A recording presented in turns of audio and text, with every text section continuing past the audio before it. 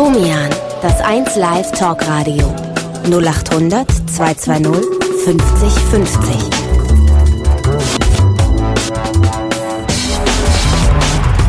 Domian, im WDR Fernsehen und in 1 Live. 0800 220 50 50. Ja, liebe Leute, wir sind ein bisschen verspätet, bitten das zu entschuldigen, aber nun sind wir da. Willkommen bei Domian. Willkommen beim 1 Live Talk Radio. Die Freitagnacht ist wie immer, das wisst ihr, die ihr uns gut kennt, ähm, immer eine freie und offene Themennacht. Also wir können über alles reden, was euch interessiert und worüber ihr gerne mit mir reden, streiten, plaudern wollt. 0800 220 50 50, die kostenfreie Telefonnummer. Oder ihr mailt domian.wdr.de und wenn ihr mailt in die Mail eure Telefonnummer nicht vergessen noch reinzuschreiben. So, der erste Anrufer heute Nacht, das ist der Thomas. Hallo Thomas. Hallo Jürgen. 40 Jahre alt. Richtig. Grüße dich, schön, dass du da bist. Danke. Um was geht's bei dir? Bei mir geht's um meine Frau. Und zwar, ich war von ihr erpresst und terrorisiert, so dass ich mittlerweile seelisch und körperlich am Ende bin und immer weiter weiß. Von der Frau erpresst und terrorisiert. Ja. Wie lange seid ihr verheiratet? Ähm, wir sind jetzt seit knapp drei Jahre verheiratet. Kinder? Nein. Nein. Also ich habe selber Tochter, aber nicht mit ihr zusammen. Nicht mit ihr zusammen. Und seit wann äh, ist die Stimmung gekippt zwischen euch beiden? Eigentlich schon nach einem halben Jahr. Also es passiert immer dann, wenn sie getrunken hat. Ist, Ähm, ist sie Alkoholikerin? Ich, also ich sage einfach, sie ist Alkoholikerin. Sie sagt, sie ist es nicht. Mhm. Sie trinkt ähm, fast jeden Tag. Ähm, Wie viel und was? Mm, Also mindestens eine Flasche Wein, teilweise auch mehr. Ja. Bier und Wein, ganz selten Schnaps. Mhm. Und wenn sie getrunken hat, wird sie aggressiv. Es ähm, war so, dass sie im letzten Jahr fünfmal äh, in der Ausnüchterungszelle und in der Psychiatrie war. Oh, Ähm, wer, wer hat sie in die Psychiatrie eingewiesen? Mm, Einmal war es ich und viermal war sie, wo sie bei ihrer Mutter oder bei Bekannten waren, die wo dann selber dort angerufen haben. Weil sie so, so fertig war, so besoffen Ähm, Ja, war? sie So. trinkt äh, so viel, dass sie nicht mehr laufen kann, dass sie die Treppen runterfällt, ähm, Ja. Dass sie teilweise zum Fenster rausspringen will, sich umbringen will. Also sie weiß nicht mehr, was sie macht. Sie nimmt da zusätzlich noch Medi Medikamente. Ist sie auch berufstätig noch? Ähm, sie arbeitet, ja, ist äh, 70 Prozent schwerbehindert und äh, ist deswegen unkündbar, ist aber äh, ständig krank. Was für eine Schwerbehinderung ist das? Ähm, es hat was mit dem Herz zu tun und ähm, irgendwas mit den Venen. Achso, mit dem Herz und dann äh, trinkt sie so viel, das ist natürlich Raubbau an ihrem Körper. Richtig. So, jetzt hast du gesagt, dass sie sich, dass sie dich terrorisiert und erpresst? Ja, also ist es so, dass ich ihr mittlerweile jetzt im letzten Jahr 10.000 Euro gegeben habe. Bitte, ich habe nicht verstanden. Äh, 10.000 Euro habe ich ihr gegeben, einmal 6.000 Euro, dass sie mir, damit sie ihr Konto ausgleichen konnte Ja. Und äh, jetzt 4.000 Euro für ein neues Auto. Und ähm, der Vorfall war vor circa drei Wochen. Da ähm, hat sie, äh, war sie wieder ziemlich betrunken. Ich wollte ihr Flasche Wein wegnehmen. Dabei ist sie gestürzt, weil ich sie geschubst habe und ist mit dem Kinn auf den Boden aufgenäht. Warum hast du sie geschubst? Ähm, sie ist aggressiv worden, ist auf mich losgegangen. Ich wollte die Flasche Wein haben, sie hat es nicht hergeben. Ja. Und dabei ist sie dann eben umgefallen. Und Ja. ist mit dem Kind auf den Boden aufgefallen und soweit ich mich erinnern kann, hat sie dann den Kopf genommen und hat, noch einmal den Kopf auf den Boden geeilt von sich aus und hat gesagt, sie ruft die Polizei. Und eine Stunde später war die Polizei da und ich habe jetzt äh, Gerichtsverfahren anhängen wegen Körperverletzung. Das heißt, weil sie sagt, du hättest ihr das angetan. Das hat sie bei der Polizei gesagt. Also sie, sie unterstellt dir, dass, dass du gewalttätig warst und dass du Genau, sie im Gesicht richtig. verletzt hast durch Schläge oder so etwas. Ja, ich habe sie am, angeblich an die Haare packt und äh, mit dem Kopf auf den Boden geeilt. Das ist ja heftig. Und du hast das Bild wirklich vor dir, dass sie nochmal extra den Kopf aufgeschlagen hat auf den... Ich weiß, ich weiß es nicht. Ich, in dem Moment, wo, wo sie umgefallen ist, bin ich gegangen. Mhm. Und äh, ich weiß es nicht. Also ich bilde mir ein, dass sie, äh, weil sie dann noch gesehen hat, ja, ich zeig dich jetzt an. Aber wie auch immer, selbst wenn sie Ja. das nicht getan hat, sie hat sich verletzt beim Fall. Beim Fallen. Ne? Ja, sie ist mit dem Kopf ist sie aufgekommen und Genau. aufgrund, und Und- aufgrund dessen ist das Kinn aufplatzt unten, da ist eine leichte Narbe. Verstehe. Und, und, Und- und Fakt ist, und, ja, und Fakt ist, dass sie, dass sie äh, dir unterstellt jetzt, dass äh, du sie Genau. misshandelt hast, körperlich.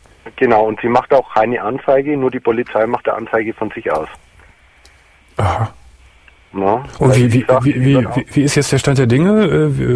Gab es Ja, da schon äh, Befragungen und Ja, von der Polizei her äh, waren Befragungen da. Ich habe das erklärt, so wie es war. Mhm.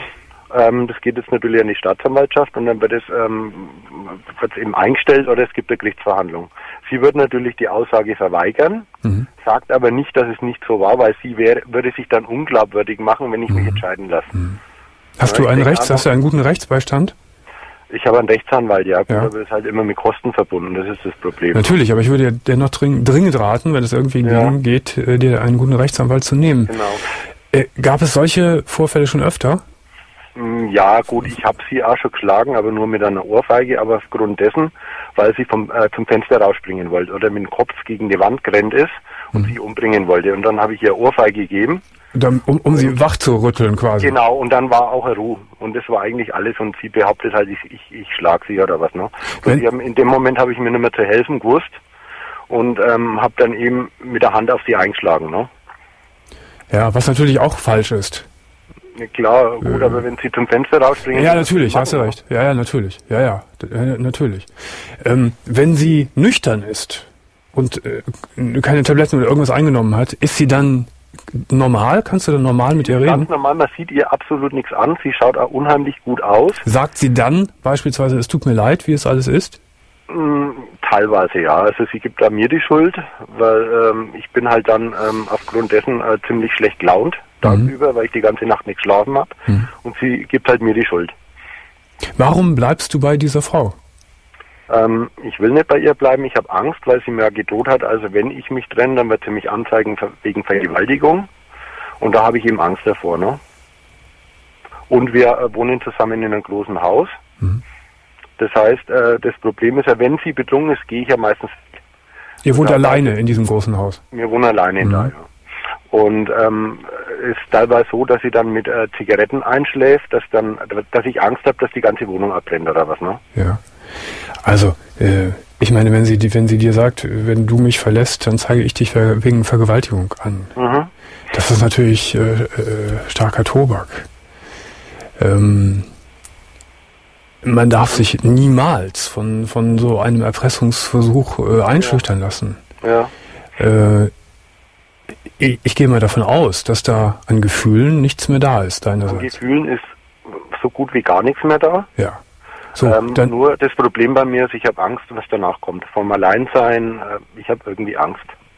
aha, Was dann nachher kommt, also sie wird äh, das auch so machen, dass sie äh, Männer mit heimbringt dann, ähm, die mir vorführt oder sonst irgendwas. Ne? Also sie, wird versuchen, mich kaputt zu machen dadurch. na gut, du darfst natürlich auch nicht mehr in diesem Haus wohnen. Das ist dir klar. Mhm. Wenn du dich trennst, dann musst du dich richtig trennen. Ja, Aber solange du auch noch Angst davor hast, vor, vor dem Alleine-Sein, ja. äh, könnte ich mir vorstellen, dass, äh, dass sich das immer und immer alles wieder ritualisiert wiederholt zwischen euch beiden. Mhm. Weil du auch nicht den Mut hast, diesen, diesen Schritt über die Tabugrenze hinaus zu machen. ja. So wie ich du denk, mit, Ich denke einfach mal, dass es am Alkohol liegt und ja eigentlich ja gar nichts dafür kann. mag ja sein, das ist ja, egal. Äh, aber was nicht egal ist, ist, ist die Situation, in der du lebst. ja. Und ich finde, so wie du das geschildert hast, ähm, m- musst du alles daran setzen, äh, diese Ehe und dieses Zusammensein so schnell Ja. wie möglich ordentlich zu trennen. Ja. Mit allen, mit allen mehr Konsequenzen. anders. Also ich bin wirklich seelisch äh, total kaputt. Ja, also, natürlich.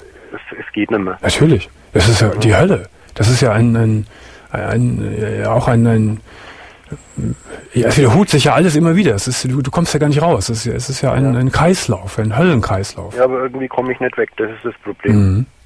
Weil sie nüchtern wieder ganz normal ist, ja. Und äh, zwei Tage später habe ich das gleiche wieder. Ne? War denn die Frau, du sagst, ihr seid drei Jahre verheiratet? Ja. Ich gehe mir davon aus, dass ihr euch vorher auch ein bisschen gekannt habt. Wir haben uns kannt, ja, und es war vorher mit ihrem Ex-Freund genauso. Mit ihrem Ex-Freund war es genauso. War's aber die genauso, Zeit, ja. während ihr zusammen wart, aber noch nicht verheiratet wart, war es gut? Wir waren nicht lang zusammen, also wir waren gerade mal zwei, drei Monate zusammen und dann haben wir gleich geheiratet. Warum hast du denn da gleich geheiratet? Ja, weil er einfach doof war. Es ist ja verrückt, nach zwei, drei Monaten. blind, blind vor Liebe und so. Kann ich ja noch verstehen, wenn man irgendwie 18, 19 ist und denkt, das ist Ja. jetzt das Glück fürs Leben, Ja. aber du bist äh, 40 jetzt schon. ja, Äh, Ja, das war natürlich ein fulminanter Fehler, so schnell zu heiraten, finde ich. Ich finde immer, dass Ja, man da war, einfach... es war einfach die große Liebe und so. Naja, gut. Und, ähm, gut. Die, auch die große Liebe muss man sich erstmal ein bisschen, ein bisschen angucken. Aber egal, das ist ja Schnee von gestern. Mhm. Äh, Es geht jetzt um, um, um, um die Gegenwart und die unmittelbare Zukunft. Du musst etwas verändern und du musst alles daran setzen, dass du da rauskommst. Ja. Wenn du das seelisch auch nicht so schaffst oder deine Schwierigkeiten hast, dann hol dir äh, psychologischen Beistand für diese komplizierte, das vielleicht Problem komplizierte. Ist ja, dass man immer zwei Monate warten muss, dass man überhaupt einmal einen Termin kriegt oder was, ne?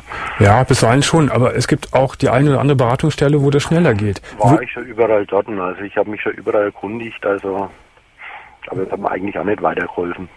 Ja.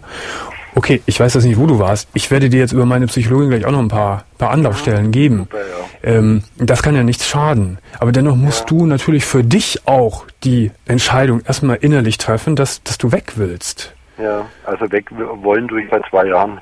Ja, und aber auch wirklich. Und dass du dich ja auch von diesen, von diesen Dingen, die sie sagt, dass du dich da nicht einschüchtern lässt. Und vor allen Dingen, dass du auch gegen deine eigene Angst angehst. Wie ist das, wenn ich dann alleine bin? Ja, das ist das größte Hast du überhaupt in deinem Leben schon mal alleine gelebt?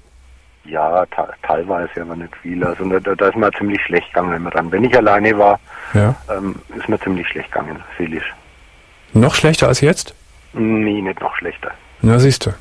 Also kann es eigentlich erstmal nur ein Tick besser werden. Mhm. Vielleicht sogar, wenn du das schaffst, vielleicht das, das doch hinzukriegen mit dem Alleineleben, wäre das natürlich auch ein tolles Erfolgserlebnis für dich, wenn du wüsstest, kann ich auch. Ist vielleicht nicht die optimale Lebensform für mich, aber ich kann das auch. Mhm. Lieber Thomas, du musst was ändern. Ja, weiß ich. Äh, ich bitte dich jetzt aufzulegen. Du wirst von Magdalena, meine Psychologin, zurückgerufen. Dann könnt ihr generell noch ein bisschen reden und sie wird dir die eine oder andere Beratungsstelle noch geben. Okay, super. Alles Gute und viel Glück. Danke. Tschüss. Tschüss.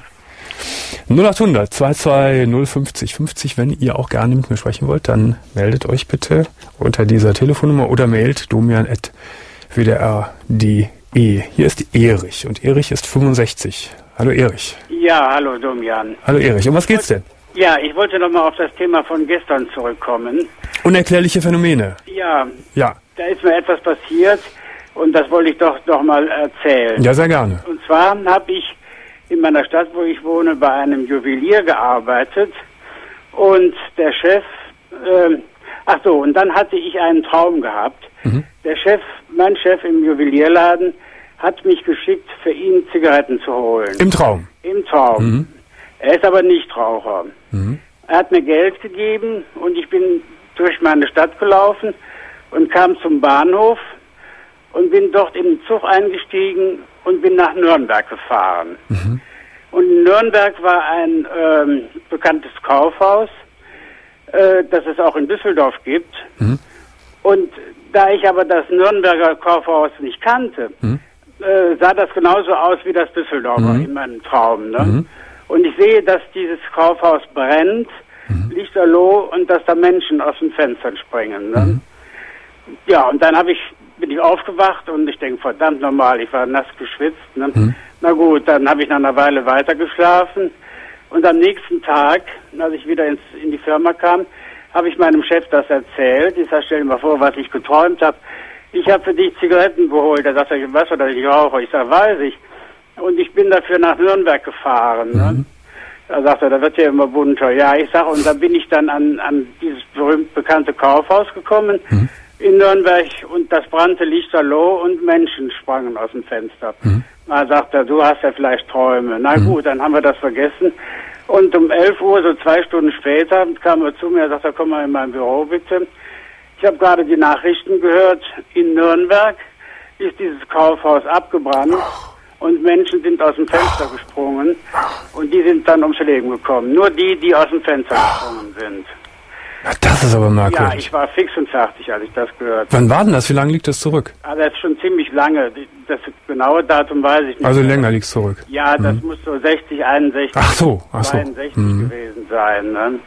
Das ist aber verrückt. Das, das Ja, heißt, du also- hast im Traum vorhergesehen, dass dieses Kaufhaus in Nürnberg brennen wird. Ja, das habe ich Und zwar in der Nacht vorher. Hast du es im ja, Traum die gesehen? Nacht vorher. Ne? Das ist aber gruselig. Ja, das habe ich mir, mir auch gesagt. Aber Hast du denn denn Bilder im Fernsehen gesehen davon? Oder nee, da hatte man noch nicht so viel Fernsehen, ne? nee, in, in, in der Zeitung, da waren In der Zeitung, mhm, Bilder drin gewesen. Ne? Ich weiß nicht, ob ich im Fernsehen was gesehen habe, das kann ich nicht so genau sagen. Aber in der Zeitung, da waren, äh, war was, oder Illustrierte, die man früher Nun liegt das ja schon sehr lange zurück. Ja. Hast du denn irgendwann in deinem Leben nochmal irgendetwas geträumt, was dann eingetreten ist? Nee, geträumt habe ich nichts. Ich hatte nur mal et etwas anderes. Das war aber kein Traum. Ich bin, ich bin mal an einem Sonntagnachmittag im, im sehr heißen Sommer. Ich wohne hier in meiner Stadt genau in der Innenstadt. Mhm. Und da bin ich gelaufen. Nach Valentini wollte ich Eis holen. Mhm. Und die Straßen, weil es so heiß war, waren völlig leer. Kaum Verkehr. Und ich stehe an einer Ampel und die zeigte für mich grün. Mhm. Und ich sah kein Auto und nichts. Und irgendjemand hat mich zurückgehalten, dass ich nicht gegangen bin. Mhm. Ich habe das Grün da, da gesehen und dann kam ein holländischer Wagen und fuhr durch. Ne, Wenn ich gelaufen wäre, Mhm. dann wäre ich, der hätte der mich gepackt an der grünen Phase. Und du hattest diesen, diesen Wagen gar nicht wahrgenommen vorher? Nee, vorher habe ich Nee. den nicht wahrgenommen. Mhm. Ich hatte nur das Gefühl, dass jemand mich zurückhielt und sagt, bleib stehen. Mhm. Ne? Geh nicht rüber. Aber ansonsten ist, ist sowas noch nicht äh, bei mir passiert. Ja, aber das mit dem Kaufhaus ist ja schon Ja, beeindruckend. das hab ich das ist schon beeindruckend. Ja, ja. Wenn man das so konkret vorher träumt, Ja, das habe ich alles ganz dicht vor mir gesehen. Mhm. Ich habe das auch morgens bei uns im Geschäft, da haben die anderen Kollegen auch zugehört, habe ich das auch alles erzählt. Ne? und du hattest sogar im Traum den Namen des Kaufhauses ja, Ja, gesehen, ich ne? das, ja, ich, ich wusste das Kaufhaus und da ich nicht weiß, wie dieses Kaufhaus, das gibt es in verschiedenen Städten in Mhm. Deutschland, wie dieses Kaufhaus also in Nürnberg aussieht, war Mhm. also in meinem Traum war das Düsseldorfer Modell, Ah ja. was ich gesehen ah, ja. habe. Ne? Mhm, ja. Tja. Ja, Und- es gibt, es gibt, glaube ich, einfach wirklich Sachen so, wie man so sagt, zwischen Himmel und Erde, die wir nicht kapieren. ja, die ja. passieren halt immer wieder mal, worauf wir uns keine reinmachen können. Ja, mit mein Chef sagte, komm mal ins Büro, ich muss dir dringend was erzählen. Ich dachte, wäre irgendwie was abhanden gekommen oder was. Da sagt er, gerade habe ich die Nachrichten gehört, in Nürnberg ist ist das Kaufhaus Da, abgebrannt. da war der sicher auch baff, ne? Ja, sicher, Ja, wir waren ja, alle ja. ein bisschen, Ja. wir haben gezittert, ne? Lieber Erich, danke, dass du es uns erzählt hast. Ja, das passte ja. genau wirklich zu unserem Thema gestern, da hast du recht. Ja, sicher, ich habe mal versucht, ich bin auch nicht durchgekommen. Ja, aber jetzt haben wir es geschafft und ich freue mich darüber. Okay. Alles danke. Gute. Jürgen. Tschüss. 0800 220 50 50. Herzlich willkommen, Richard. 30, guten Morgen. Hallo, ich grüße dich. Hallo Richard. Um was Hi. geht's? Ähm, ja, eigentlich so um eine Schlägerei. Ich wurde zusammengeschlagen Wann? und bitte? Wann? Am 29.09.06 war das. Ja. Und von wem? Ja, äh, fünf Engländer, also mit denen hatte ich Ärger. Ja. So, Fuß, Fußballmäßig, irgendwie Hooligans oder sowas? Pff, nee, das waren Soldaten. Ah ja, hier in Deutschland. Hier in Deutschland. Ja. Aus Hannover komme ich. Ja. Wie- Ja. Be- Beschreib mal die, wie kam es zu der, zu der Rangelei, zu der Gewalttätigkeit? Ich war mit meiner Freundin in einer Bar. So, also ganz normal, eigentlich einen ganz normalen Abend gehabt. So, ich saß mit dem Rücken zu denen Ja. und die waren alkoholisiert. Gut, ich habe mit meiner Freundin auch was getrunken. Mhm. Ja, und auf einmal wurde ich mit Eiswürfeln und Zitronenscheiben beworfen. Was ja noch nicht ganz so schlimm ist. Nee, aber normalerweise, also ganz normale Reaktion, man steht auf, dreht sich um, fragt, was soll das? Ja, Ja, aber okay. die Leute, die konnten kein, kein Deutsch, weil, wie gesagt, Soldaten. Mhm. Und ähm, ja, jedenfalls habe ich den mit meinem Schulenglisch, sage ich jetzt mal, ne, versucht irgendwie auf eine Wellenlänge zu kommen. Mhm. Ne, dass ich denen klar mache, so stressmäßig bringt nichts. Mhm. Ja, ja, jedenfalls wollten die fünf da schon auf mich los, weil die sehr stark alkoholisiert waren. In dem Lokal noch. Ähm, Es war draußen, also ne, es war noch ziemlich warm. Wir saßen draußen, war so ein Vorbau, Ach so, so ein mhm, quasi Biergarten. Mhm. Es war ein Irish Pub. Mhm. Ne? Ja. Ne, und jedenfalls äh, die Bedienung hat dann nach einer Weile die Polizei gerufen. Mhm. Ne, ich habe Platzverweis bekommen. So, warum, weiß ich auch nicht. Ich habe mit der Polizei diskutiert, wieso. Mhm. Ne, aber die meinten wohl lieber einen Deutschen wegschicken, als mit sich fünf Engländern anlegen. Mhm. Mhm. Ne, ja, jedenfalls ähm, Stress auch mit meiner Freundin gekriegt, deswegen. Ne, und dann Warum? habe ich den kürzeren gezogen. Ja, weil sie in der ganzen Sache, weiß nicht, sie fand das übertrieben alles. Was fand sie übertrieben? Ja, dass die so abgegangen sind und dass ich eben mit denen immer reden wollte, so dass ich die ganze Also sie fand deine Reaktion auch übertrieben, sonst hättest du ja nicht Stress mit ihr. Ja, sie meinte eben so, setz dich hin, lass gut sein. Ja. Ne? Also sie war deeskalierend drauf und du warst provoziert. Provozierend nicht wirklich. Naja, ein bisschen schon. Ah, A little bit, sage ich mal. So, und dann? No, ja, jedenfalls die Polizei war weg, so meine Freundin ist mit ihrer Freundin auch abgezischt und ich wollte zur Bahn runtergehen. Mhm. No, ganz normal, Abgang, Klügere geht nach, ja, zwei, drei Stufen zur U-Bahn-Station habe ich noch mitgekriegt und Mhm. auf einmal wurden die Lichter dunkel. No, und ja, zwei Tage später bin ich in der Intensivstation wieder aufgewacht. Oh weia. Das heißt, die haben dich verfolgt Die haben mich verfolgt. und haben dich von hinten direkt zusammengeschlagen. Genau, haben mich von hinten niedergeschlagen. Ich habe einen doppelten Schädelbruch erlitten Oh. und seitdem höre ich auf dem linken Ohr erst ab 120 Dezibel was. Mhm. Also sprich, ich muss auch ein Hörgerät tragen, damit ich da irgendwas mitkriege. Mhm. Und ich rieche und schmecke nichts mehr. Du riechst und schmeckst nichts mehr. Also riechen gar nicht mehr und schmecken Aromastoffe geht noch.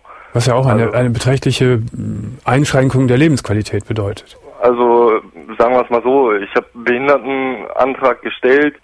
So, ich hatte jetzt die Reha hinter mir und alles, so, weil ich das damals nicht für nötig gehalten habe. 2006 sagst du, ne? Im September war das. 2006. Mhm. 29.09.06 war das. Ähm, wie lange lagst du denn dann im Krankenhaus? Äh, knapp zwei Wochen. Also ich bin auf eigenem Ermessen Das ja, ist, bin ich gegangen.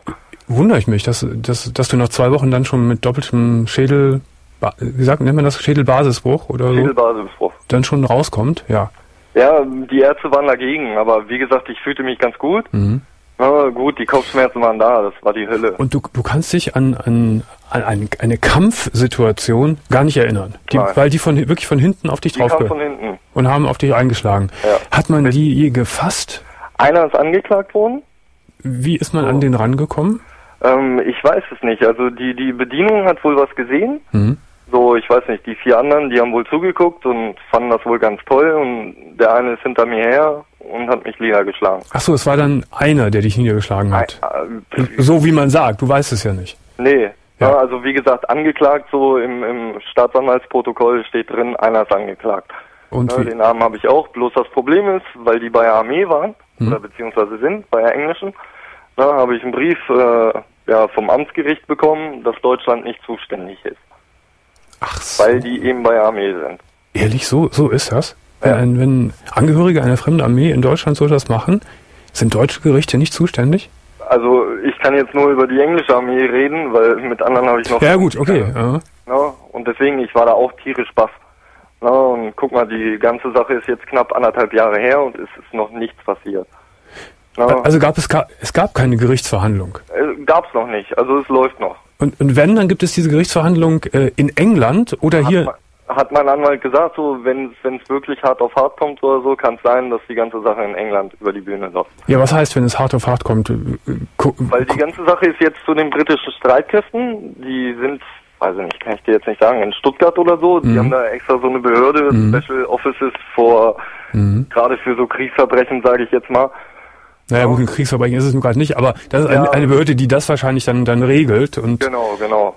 das Ja, heißt, und, das heißt noch, ähm, ist mir neu, dass also eine, ein, dass die deutschen Behörden keinen, also die, die deutsche Justiz kein Zugriffsrecht hat, auch wenn ein Deutscher daran beteiligt ist, wenn jemand aus zum Beispiel der englischen Armee so etwas macht. ja, ich meine, ist ja auf deutschem Grund geschehen, so, weißt du? Ja, ja, eben, deswegen, und, und du bist ein Deutscher. Ja. Na, und deswegen, also jedem... Da fühlt man das sich ja wahrscheinlich sehr, sehr, sehr ungerecht behandelt, ne? Und hilflos an deiner Stelle. Also ich fühle mich tierisch scheiße. Das sagen. könnte ja sein, dass das Ganze jetzt, ich will mal nicht unterstellen, aber irgendwie versandet. Im Sande verläuft, ja. Ja, ja. Hat mein Anwalt auch gesagt. So, weil, wie gesagt, ein Engländer wird den anderen nicht gegens Bein pinkeln. Hat denn dein Anwalt äh, da mal Recherchen betrieben, ob es da andere Fälle ähnlicher Art gibt und wie die ausgegangen sind? Also ich bin noch im Kontakt mit dem Weißen Ring.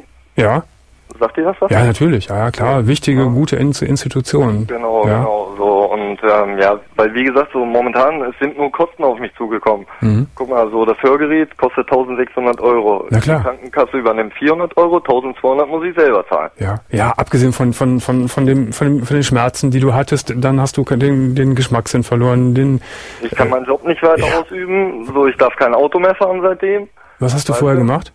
Ich war Kurierfahrer. Mhm. Ach, du darfst kein Auto mehr fahren. Nein, weil ich zweimal hinterm Steuer zusammengesackt bin. Also ganz gravierend, ganz gravierende Folgen für dein Leben. Was sagen denn die Leute vom Weißen Ring? Wie schätzen die das ein? Ja, wie schätzen die das ein? Also, die haben auch gesagt, so, die haben mir ihre Zeitung und so, haben mich gefragt, wie sieht's aus, dürfen wir deinen Fall publik machen? Mhm. Ich sage natürlich, so mit Name, alles, so, ich stehe euch gerne zur Verfügung. Mhm. Na, bloß wie gesagt, so, weil es eben ein anderes Land ist, ist eine außergewöhnliche Sache. Einerseits schon. Andererseits ist das nicht ein Land irgendwie im fernen Afrika, Asien oder so etwas, Nee, sondern nee. es ist äh, Europäische Union. Ne, ich habe auch schon gedacht, so wenn alle Stricke reißen, irgendwie mal eine Zeitung wenden oder was weiß ich. Mhm. So, weil, guck mal, wenn ich sowas da drüben machen würde oder so, die würden mich, glaube ich, am nächsten Baum gleich aufhängen oder so. Also ich würde das, würde mich da wirklich auch jetzt rechtsmäßig sehr, sehr detailliert beraten lassen. Da bist du bei dem Weißen Ring sicher erstmal in guten Händen Ja. äh, und dir vielleicht auch einen entsprechenden Anwalt suchen, der äh, professionalisiert ist, ähm, sich mit solchen Fragen zu beschäftigen. Und wenn alle Stricke reißen, dann wirklich ganz nach draußen an die Presse zu gehen, damit du zumindest ein, ein ordentliches äh, Schmerzensgeld bekommst für, Ja. für all das, was du hast ertragen müssen. Es geht ja nicht an, dass, dass der davonkommt, auch wenn er Soldat ist. ja, Was, was ist denn das für ein Rechtsverständnis? Auch wenn es ein Soldat eines befreundeten Landes ist, das ist ja völlig wurscht. ja klar, gucken, wo ich bei der Bundeswehr war und wenn ich da irgendwie Mist gemacht habe, so, da habe ich zivil und äh, drinnen nochmal einen auf den Sack gekriegt, Mhm. so, weißt du. Könnte ja vielleicht auch sein, äh, dass ein, ein rechtskundiger Zuschauer, Zuhörer äh, dir vielleicht noch einen Tipp geben könnte, wohin du dich wendest, wer vielleicht da ein Fachmann ist oder so. Könnt ihr uns gerne mailen, domin.wdr.de und wir reichen das an den Richard weiter, Ja, das wäre super. damit du zumindest ein Recht bekommst und Ja. vielleicht sogar ein bisschen Kohle. Ähm, dein Ja, Job, dein ja, Job, weiß ich nicht, die Kohle ist mir eigentlich Nebensache, so, weißt du? So die ganzen Sachen, so, weil seitdem, ich bin sentimentaler geworden. Mhm. Ne, und gerade beziehungstechnisch und so, alles klappt nicht mehr so, wie es sollte. ja klar, das hat psychische Folgeschäden, Ja. natürlich. Ja. Du hast deinen Job verloren, sagst du das? Ich habe meinen Job verloren, gut, jetzt so, ne, über, über den Rentenversicherungsträger und übers Arbeitsamt so versuche ich eine Umschulung anzustreben. Mhm. Ne, aber ich darf kein Auto mehr fahren. Mhm. Super. Mhm. Ne, und all das und wegen, wegen einem Barbesuch. Mhm. Ne? Scheiße. Also, Richard, wenn wir interessante Informationen bekommen sollten, reichen wir die sehr, sehr gern an dich weiter. Ja, wie gesagt, Telefonnummer habt ihr und ich Ja, würde ja. mich freuen, wenn sich irgendwer melden würde, der sich damit auskennt oder ihr irgendwie noch einen Plan habt. Genau, dann würden wir uns mit dir in Verbindung setzen. Wunderbar. Und wie gesagt, mit dem Weißen Ring, da bist du auch schon mal eine, an einer sehr guten Stelle für. Ja, ist eine super Institution. Ja, absolut. Ja. Ne? Ich drücke dir die Daumen, dass irgendwas dabei rumkommt und dass du ein, zumindest ein wenig äh, dein Recht, dein Recht erhältst. Jawohl. Lieber Richard, alles Gute. Ich danke dir. Ne? Tschüss. Schöne Nacht noch. Dankeschön, dir auch. Tschüss. Jo, tschüss. Hier ist Tanja. Tanja ist wie alt? 33. Guten Morgen. Hallo. Moin, Domian. Hallo Tanja, jetzt bist du dran. Das war ein bisschen schnell jetzt, ne? Ja. Tanja. Und zwar geht's darum, ich bin letztes Jahr anschaffen gegangen für Mhm. anderthalb Monate. Erstmalig. Erstmalig, ja. Mhm. Äh, hab den Job vielleicht durch eine Dummheit verloren und will jetzt auf eigenen Füßen weitermachen. So, warum, wie kam es überhaupt, dass du voriges Jahr anschaffen gegangen bist? Ähm, ich hatte bei uns in der Zeitung äh, eine Annonce gelesen. Äh, Frauen äh, für Begleitservice in Teilzeit gesucht. Mhm. Das war mittwochs gewesen. Ich weiß nicht, mir war im Vorfeld war es mir eigentlich schon klar gewesen, äh, dass dass halt das dahinter steckt. Das ist immer so die vornehme Ausdrucksweise, ne? Bitte? Das ist so die vornehme Ausdrucksweise. Ja, ja, Ja. ja. Und äh, ich hatte dann, ich hatte mir das bis Samstags überlegt, ob ich dazu bereit bin oder nicht. Mhm. Und ich hatte dann Samstag angerufen und das hat sich auch alles ganz toll angehört und er meinte aber auch gleich, äh, dass ich damit, natürlich er würde Begleitservice anbieten, äh, aber dass ich mit dem Anschaffen halt mehr Kohle verdienen kann. Mhm. Also um das Doppelte und Dreifache. Und wir haben uns dann getroffen zum Einstellungsgespräch und ähm, ich habe dann halt gefragt, wie viel ich bekommen kann und wie das laufen würde, weil ich lau äh, lebe hier auf dem Land Ja. und ich hätte gar keine Möglichkeit, irgendwo hinzukommen. Mhm. Und das wäre kein Problem, die würden mich abholen und Ja. äh, die Kosten wären halbe halbe. Lass mich mal kurz unterbrechen. Ein Einstellungsgespräch, wenn man quasi als Prostituierte arbeiten will, soll. Was, was fragt da der, der Vorgesetzte? Äh, zu was ich, äh, was ich bereit bin. Und äh, Muss man sich da auch, ich frage es jetzt mal ganz plump, muss man sich da auch ausziehen und dem präsentieren, ob man auch nein, gut gebaut ist? Nein, nee, das nicht. definitiv. Wir waren im Café, wir haben Kaffee und Kuchen getrunken. Ja. Äh, mit Ausziehen war da gar nichts. Natürlich habe ich mich figurbetonter angezogen, Ja. äh, wo er gesagt hat, mit dem Klamottenstil, da müssen wir noch was ändern. Also da hat er gleich gesagt, das ist passé, das gibt es nicht. Ja. Äh, er möchte nicht, äh, dass die Nachbarn seiner Kundschaft äh, äh, sehen, was da jetzt kommt. Also, Also- ein bisschen dezenter. Genau. Ja. Richtig Und, dezent. und er hat gefragt, was, du- zu, was du zu machen bereit bist. Ja. Ja. Mhm. Also äh, äh, Er, ist das, war das ein Zuhälter oder wie benennt man so jemanden? Nein, ich würde ihn nicht Zuhälter nennen. Also äh, das Klischee Zuhälter überhaupt nicht. Also er war ein gestandener Mann, er wusste, wie er zu reden hat. Also zuhältermäßig überhaupt nicht, wie man es aus dem Fernsehen dann halt Aber dann hast du letztendlich für diesen Mann gearbeitet. Für, des, für dessen Agentur, wie sich das dann wahrscheinlich genannt Ja. hat. Genau, Anderthalb, anderthalb Monate. anderthalb Monate. Mit allem drum und dran. Mit allem drum und dran. Wie fandst du's? Bitte? Wie fandst du's? Äh, der erste Kunde, das war unangenehm gewesen. Aber äh, Warum? Ja, der Geruch und äh, ich hatte ja erst vorher Pkw und Hausbesuche gemacht. Mhm. Und das war dann halt mein erster Kunde und der war nicht so wohlriechend und Wie Pkw und auch- Hausbesuche. Wa- wa- Was, was ist der Unterschied zwischen Pkw und Hausbesuchen und deinem ersten Kunden? Äh, also Pkw ist, es gibt vorgeschriebene Plätze, die mein Chef ausgesucht hatte vorher schon, Ja. wo man sich dann trifft. Das waren drei Plätze gewesen. Mhm. Und wo dann hinten vielleicht ein Waldstück oder so war, wo man dann hätte hineinfahren können. Ach so. Um dann da, wir wissen schon. Ja. Und genau. das ist dann auch passiert in den Waldstücken. Das ist dann auch passiert, ja. Aber die hätten ja auch schlecht riechen können. Äh, ja, ich hatte Glück gehabt. Vielleicht lag es auch an den Preisen. Also ich denke mir, umso höher die Preise sind, umso andere, äh, um, umso bessere Klientel bekommt man. Also auf jeden Fall dann der erste Kunde. Das heißt, äh, der ist dann zu dir in, in die Wohnung gekommen oder? Nein, Sondern? das war ein Pkw-Treff gewesen. Wir haben uns an einem Ort getroffen. Ja.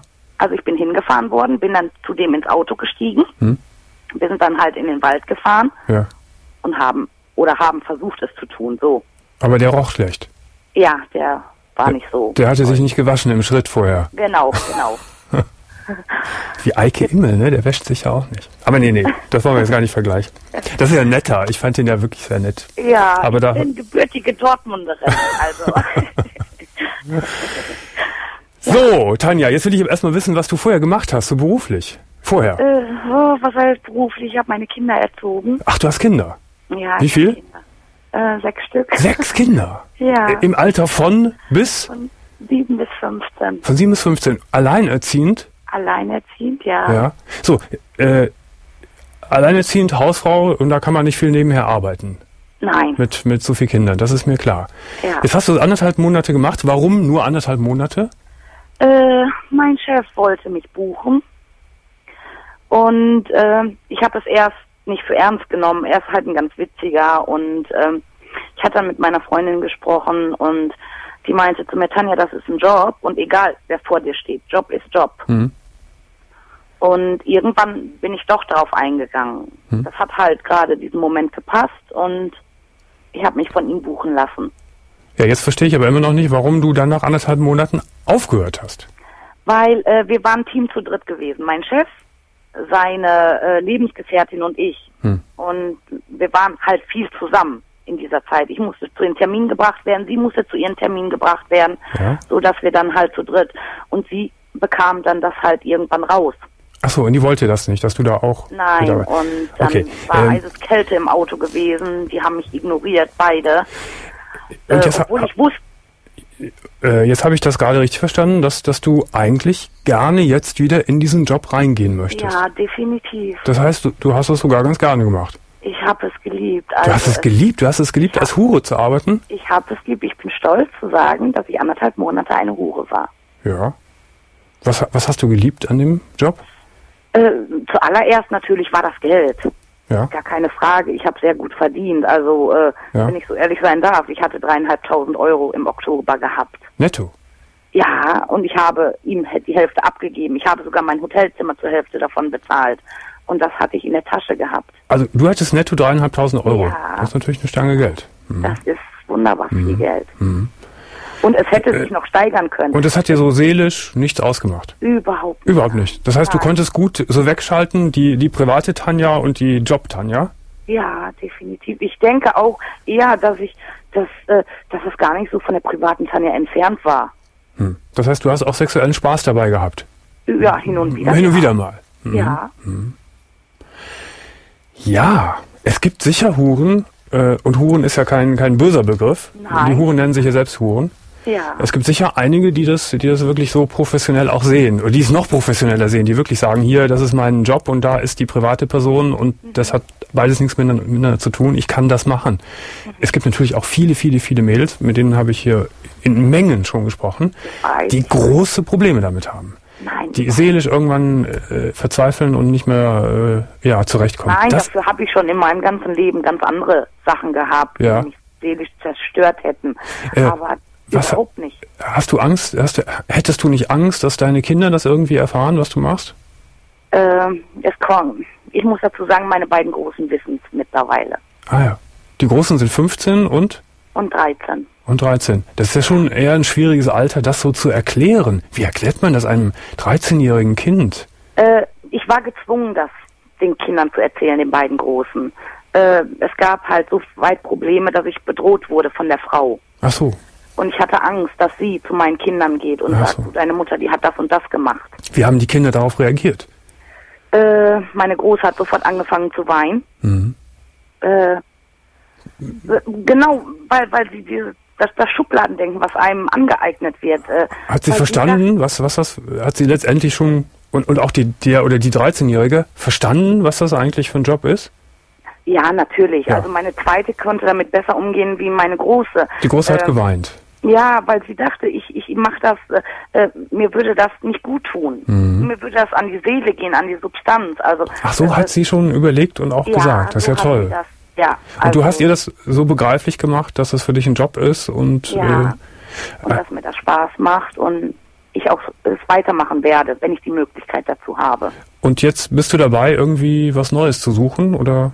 Äh, nein, ich bin halt 33. Äh, das war das erste Mal, dass ich sowas in der Zeitung gelesen habe. Natürlich suchen Clubs Namen, gar keine Frage. Aber ich meine, ich habe sechs Kinder geboren.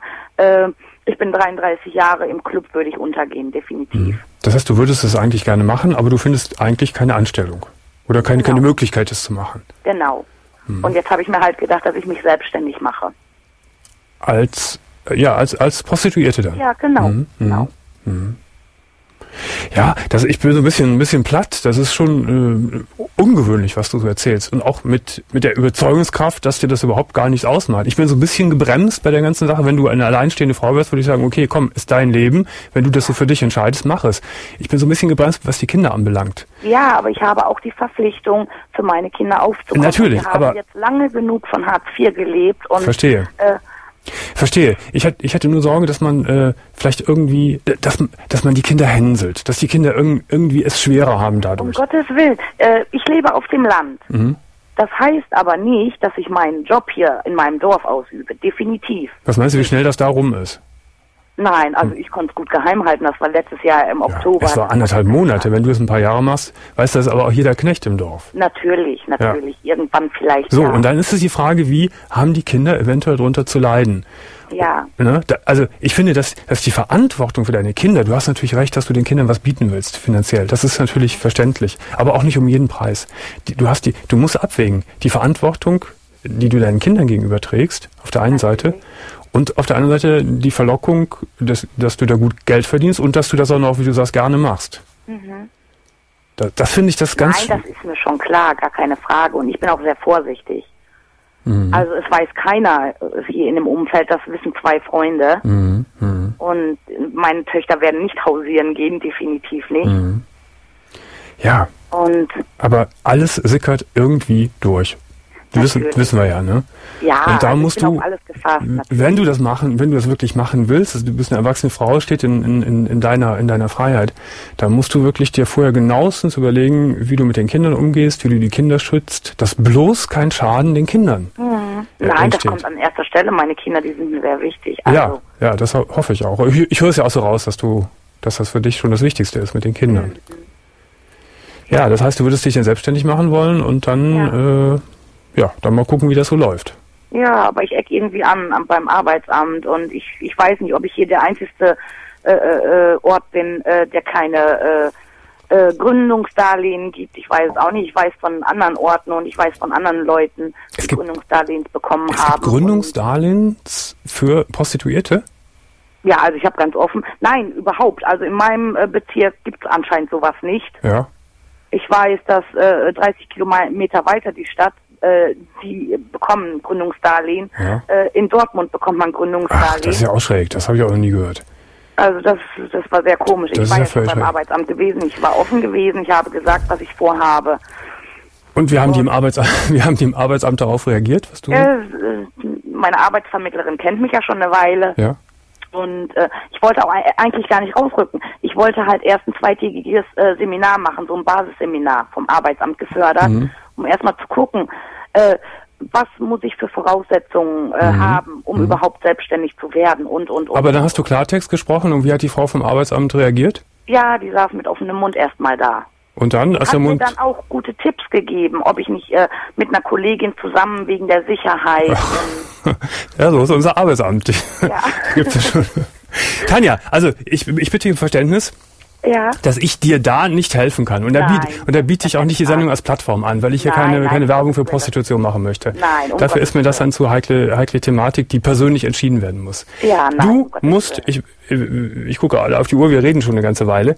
Ja. Ähm, ich, ich, ich finde, dass, dass ich unterstreiche das nochmal, dass du wirklich deine Kinder in absoluter Wichtigkeit im Auge haben musst. Ja, ich weiß. Ne, Das, das musst du immer im Auge haben und sei die Verlockung des Geldes noch so groß. Hm. So, und alles andere ist deine Verantwortung, deine Entscheidung als Mutter und als erwachsene Frau. Mhm, ich weiß. So, meine Liebe.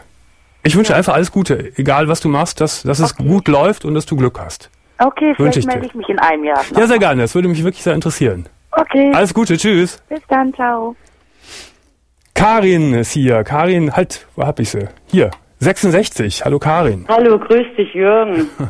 Hallo Karin. Also ich freue mich ja so, dass ich jetzt mal mit dir sprechen kann. Also ich hätte eigentlich jede Woche ein Thema gehabt. schön, dass du da Äh, Es bist. geht jetzt darum, ich äh, werde nächste Woche 67. Gratulieren darf ich noch nicht. nein, nein, voraus tut das ja nicht gut. Nein. Äh, es ist folgendes, ich habe eigentlich seit 15 Jahren äh, keinen sexuellen Kontakt mehr mit einem Mann Mhm. gehabt. Ich bin seit gut fünf Jahren verwitwet Mhm. mit einem zweiten Mann und ähm, der hatte mich, ja, es ist jetzt 15 Jahre her, furchtbar schockiert ähm, nach einer Liebesnacht, also da hat er mich dann dermaßen beschimpft. Äh, er war wahrscheinlich neidisch darauf, dass ich Orgasmus hatte und bei ihm war nichts und da hat er mir also auf schlimmste Weise beschimpft, ich wäre eine Hure und ganz übel und nett und da habe ich ihm nur gesagt, ich werde nie wieder einen Orgasmus haben. Mit dir. Oder generell. Generell, Genau. generell. Ja, naja, also, äh, äh, aber du hast dann auch nie- Ehemann, also äh, ein anderer Mann kam sowieso nicht ins Spiel, habe ich auch nie dran gedacht. Aber das heißt, du, du hast dem dann so gesagt, mit dir gehe ich nicht mehr ins Bett, mit dir habe ich keinen Sex mehr. Äh, na, äh, das nicht. Ich habe nur gesagt, ich werde nie mehr einen Orgasmus haben. Das habe ich ihm gesagt. Ja. Und äh, damit waren auch irgendwo meine Gefühle irgendwo total auf Eis gelegt und, Und ihr war dann eigentlich äh, für mich immer nur, naja, ich habe es dann halt über mich ergehen Ach so, lassen. ach so. Eheliche Pflicht und Aber ohne Spaß und ohne. ohne Spa- für mich ohne Sinnlichkeit, gar ja. nichts mehr. Ja. Also ich war wirklich erkaltet. Ich habe mich wirklich psychisch Mhm. so äh, nicht mehr in der Lage gefühlt, irgendwas zu empfinden. Und dein Mann ist vor fünf Jahren gestorben. Der ist, ja, ja.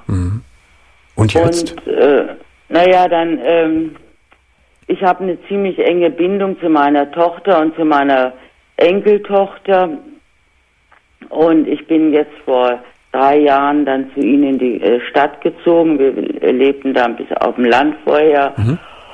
Und da bin ich dann auch so ein bisschen in die äh, jüngere Kreise gekommen und es war immer eine nette Ablenkung und ja, dann hat sich so ergeben, dass ich aus dem Freundeskreis von meiner Tochter mit einem Mann zusammen war. Ein Freundeskreis aus der to von der Tochter Der klingt Tochter, eher ein ja, bisschen also, jünger, oder? Sagen wir, der, der Mann war gut 20 Jahre jünger wie ich Ja. und ich habe eine, ja, also keine Nacht, sondern einen frühen Morgen er, erlebt, also und Bitte? Ich habe mich es verstanden. kam zum Orgasmus so. und ich war total von mir, ich weiß nicht, ob ich schockiert war oder glücklich, ich, ich kann meine Gefühle gar nicht mehr äh, sortieren oder Wann, einordnen. wann, wann war denn diese Nacht? jetzt nun war. Wann war denn diese Nacht? Silvester. Ach, Silvester, gar Ja. nicht lange her.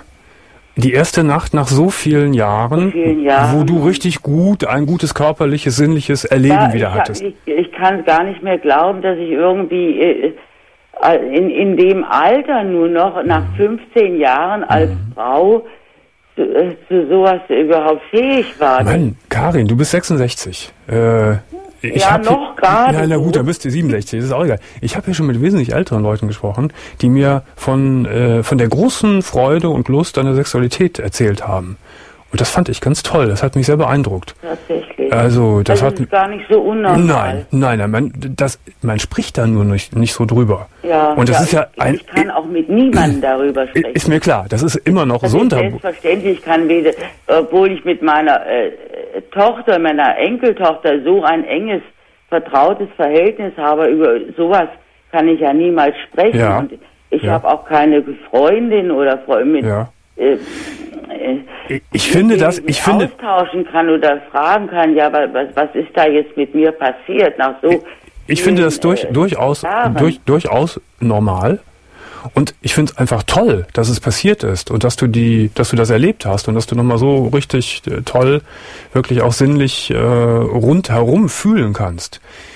Ja, es ist, es ist schon was Gutes, ja. Was, Wa- Was ist denn da jetzt mit diesem Mann? Ist das, ja, äh, ich habe irgendwie Schuldgefühl, ich weiß es bist du denn verliebt in den auch? Ich, weil ich nie, ich bin ein Mensch, der nie an, äh, an mich selbst gedacht habe. Ich wollte nur immer für die Familie und So, alle- dann wird es aber höchste Dann Eisenbahn, dass du jetzt, eigenen Bedürfnisse Dann- alles zurückgeschickt. so, dann wird es aber höchste Eisenbahn, dass du dir jetzt für das, für das nächste Lebensjahr vornimmst, dass du endlich mal an dich denkst und dass du es dir gut gehen lässt. Wahrscheinlich hast du viel zu viel in deinem Leben schon zurückgesteckt und immer nur an andere Leute gedacht. Immer nur, ja, Immer nur. ja. Jetzt beantworte mir mal die Frage, ob du verliebt Aber bist. jetzt, ja, jetzt ist es aber so, dass ich mich äh, wieder dermaßen in meiner Persönlichkeit eingeschränkt habe. Ich habe jetzt seit einem halben Jahr meine Enkeltochter zu mir in die Wohnung genommen. Mhm.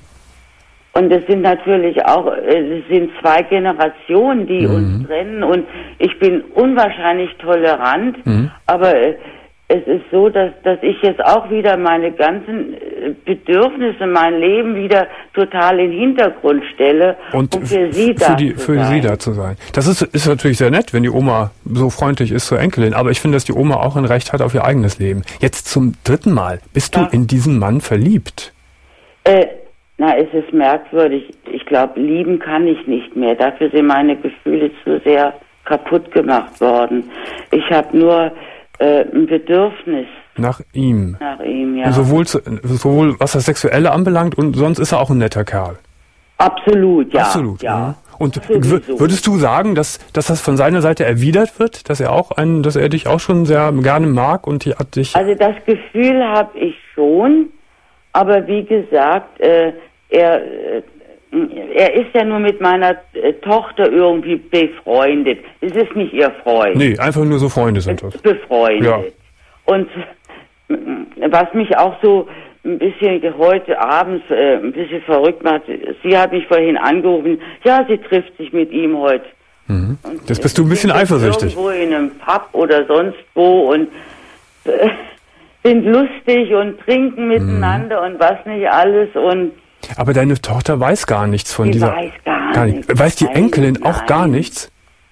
Wir, Die Enkelin äh, wir weiß sind auch. uns dreimal begegnet äh, mit ihr zusammen und dann hat es sich ergeben, äh, dass er mit hier äh, zu mir nach Hause so. gekommen ist und Mhm. meine Tochter auch und die hat dann immer ein bisschen zu viel getrunken und Mhm. sie ist dann ins Bett und da habe ich schon gemerkt, also beim beim ersten Mal, dass er an mir interessiert Mhm. ist irgendwie und dann ist er aber ins Gästezimmer weg und ich habe mich zu meiner Tochter in, in, in Mhm.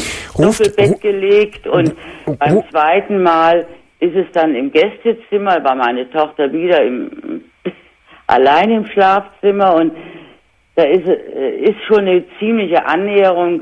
Also es ist alles ein bisschen heimlich, es ist heimlich und, bei und vorsichtig. Äh, übernachtet hat. Ja. Äh, gibt es denn von, gibt es denn von, Silvesternacht, da waren wir nun beide alleine. Da ist Mhm. die Tochter noch weitergegangen und Ja. er hat mich mit der Taxe nach Haus begleitet. Okay, gibt es denn, äh, Karin? Und da war eben eben Okay, Karin, gibt es das denn von- Erlebnis für mich. Karin, gibt es denn von von seiner Seite aus so, so Aktivitäten, dass er schon mal anruft bei dir oder mal einen Vorschlag macht, dass man sich trifft? Nein, Gar nein, nicht. nicht. Mhm. Gar nicht.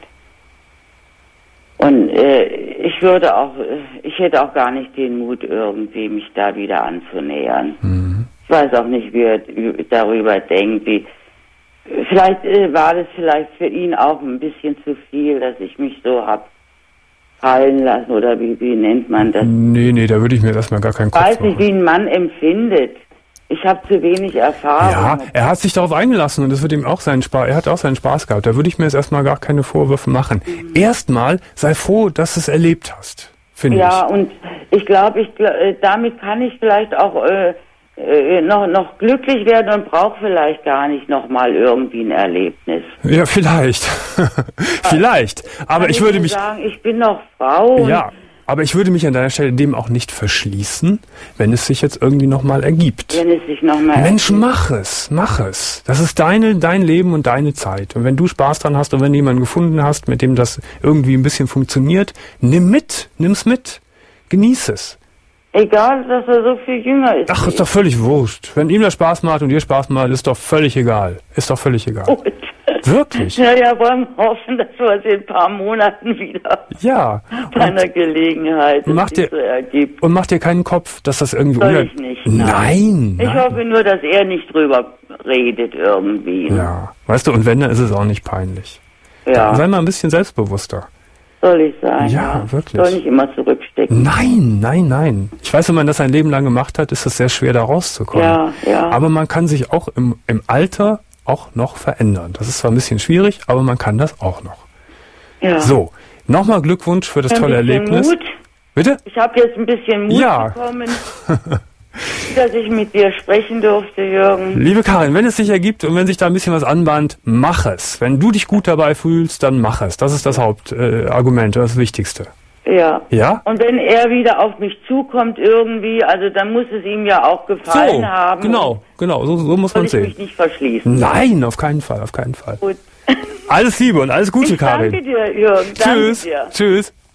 Alles Gute für dich weiterhin. Danke dir auch, tschüss. Danke, tschüss. Und hier ist noch die Sabrina. Sabrina ist 25. Guten Morgen. Ja, schönen guten Morgen. Sabrina, um was geht's denn? Bei mir geht's um meine Ehe, die ziemlich zerrüttelt ist jetzt. Wie lange läuft denn die Ehe schon? Jetzt knapp sieben Jahre, ab dem 9. März. Sieben Jahre schon. Ja. Und seit wann läuft's nicht mehr gut? Also für mich jetzt offiziell seit einem Jahr, Mhm. nachdem schon etliche Frauen hier angerufen haben bei mir zu Hause und Ach so, er geht fremd. Ja, Er geht fremd. Das ist der Hauptgrund. ja, Und äh, hast du ihn damit konfrontiert? ja, Äh, gibt er es zu? nein. Nein. Auch wenn ich jetzt schon einen ein- eindeutigen Beweis für mich gehabt habe, aber ich habe. Äh, Er redet sich raus. bekommen. Ja, na klar, er redet sich komplett raus und ich würde es mir einbilden. Hast du Auch handfeste, hast du handfeste Beweise? Ich habe einen handfesten Beweis, ja. Definitiv. Hast du ihn auch mit diesem handfesten Beweis konfrontiert? Ja, und das wäre jetzt irgendwie nur ein doofer Scherz gewesen, angeblich. Geht das, denn, geht das Ganze denn auch einher damit, dass äh, eine Unzufriedenheit in eurer Ehe läuft? Du sagst, seit einem Jahr ist es irgendwie komisch. Streitet ihr? Habt ihr keinen guten Sex miteinander mehr? Mm, Also ich habe nicht gedacht. Bis zu dem Zeitpunkt habe ich es eigentlich nicht gedacht und es lief auch eigentlich relativ gut. Ach so. Ähm, Das egal heißt- in welcher Hinsicht eigentlich, bis ich dann halt, äh, Er, er hat sich gut verstellt. Ja, also sehr gut. Also ich hätte nicht gedacht, dass ein Mensch so gut schauspielen kann. Das kann also durchaus sein, dass das schon lange läuft und du, hast das nur nicht mitbekommen. Ja, das ist halt meine Sorge jetzt, weil ich jetzt nicht weiß, ob es dann schon jahrelang davor ging oder. Aber der Haussegen hängt jetzt seit einem Jahr schief. Also jetzt seit ähm, Dezember letzten Jahres erst richtig, ja, Mhm. weil ich mir eigentlich vorgenommen habe, mich zu trennen. Ich habe noch zwei kleine Kinder und äh, Sind das eure Kinder? ja, Ja. Mhm. das sind unsere Kinder und ja, er sagt halt, wenn ich möchte, also wenn ich möchte, kann ich gerne gehen, aber die Kinder bleiben. Ach, er sagt, wenn du möchtest, kannst du gerne gehen. Ja, also das ist aber auch, das ist auch Hardcore. ja, das, ist natürlich, Das heißt ja, dem ist dem, du bist dem scheißegal. das ist ja das Problem im Moment. Ja, das ist ja der, der beste Beweis, dass er offensichtlich, egal ob er jetzt eine andere Frau hat oder keine andere Frauen hat, dass er dich nicht mehr liebt, wenn er sagt, geh doch, aber die Kinder bleiben hier. Ja, die Kinder bleiben. Was mit mir ist, ist ihnen dann egal. Ich soll mich nicht so anstellen. Äh, es wäre nichts. hier rufen auch bei uns, äh, rufen auch Frauen an, die betiteln mich dann äh, als Hausfrau, als Putzfrau. Ich bin nur seine Putzfrau. Mhm. Äh, ich frage natürlich auch, was sie denn von meinem Mann möchten und dann heißt es, ich hätte gar nicht danach zu fragen, weil ich die Putzfrau wäre und Oh, oh, oh, das klingt aber schlimm. ja, also Demütigend. sehr, ja. Streitet ihr heftig auch miteinander? Ich muss ganz ehrlich sagen, ich habe die Kraft nicht mehr dazu und ich möchte auch nicht mehr streiten, weil ähm, meine Kinder bekommen auch zu viel mit jetzt mittlerweile schon. Wie alt sind Meine die? älteste Tochter, die ist jetzt sechs, Ja, so und kriegt auch dementsprechend nachher auch schon viel mit. natürlich, ja, ja. Das möchte man nicht, ne? Und der, die Kleine ist wie alt? Die Kleine wird jetzt zwei. Zwei. Mhm. Jahr. Ja, aber die Sechsjährige kriegt natürlich mit sechs schon sehr viel mit. Na klar. Das heißt, da muss aber wirklich was passieren.